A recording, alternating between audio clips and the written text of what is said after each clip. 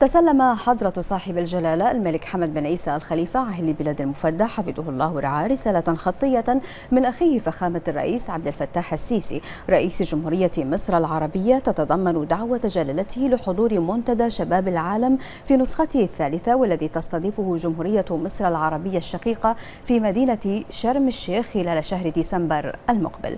وقد سلمت الرسالة لجلالة الملك المفدى سعادة السفيرة سهى إبراهيم محمد رفعت سفير جمهورية مصر العربية لدى المملكة خلال استقبال جلالته لها في قصر الصخير هذا اليوم. وأعرب جلالته حفظه الله عن شكره وتقديره لأخيه فخامة الرئيس المصري على هذه الدعوة الكريمة مشيدا بما يربط البلدين والشعبين الشقيقين من علاقات أخوية متميزة وراسخة وبالمستوى المتطور الذي وصل إليه التعاون والعمل المشترك على كافة الصعد.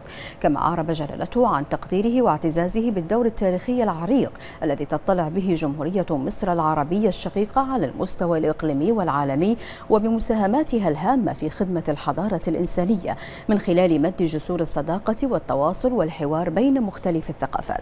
أكد جلالته على الدور المحوري الذي يطلع به الشباب في بناء نهضة الأوطان وتحقيق أهداف التنمية الشاملة وضمان استدامتها متمنيا لأعمال منتدى شباب العالم كل التوفيق والنجاح في تلبية تطلعات الشباب وخدمة قضاياهم.